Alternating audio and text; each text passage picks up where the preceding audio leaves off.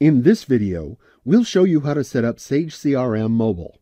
Sage CRM Mobile allows you to work online using a web browser on any mobile device, such as a smartphone or tablet.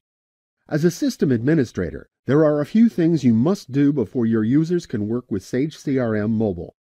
First, you need to give mobile users URLs that let them log on to Sage CRM from inside and outside your corporate network.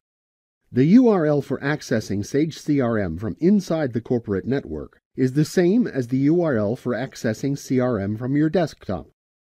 The URL for accessing Sage CRM from outside the corporate network typically includes your company's IP address or domain name.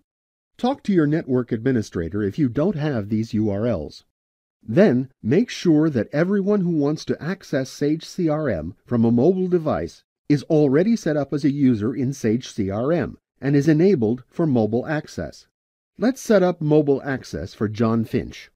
Go to My Profile Administration, Users, Users.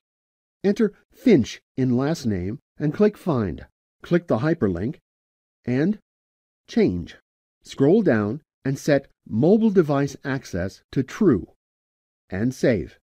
When you've set up these requirements, John can start working with Sage CRM Mobile. You can customize screens, lists, and tabs for Sage CRM Mobile.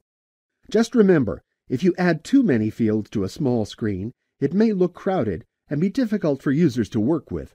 Let's add a company ID field to link a communication with a company on Sage CRM Mobile. Go to Customization, Communication. Click the Screens tab. Choose the mobile device theme. Click Custom Communication Detail box.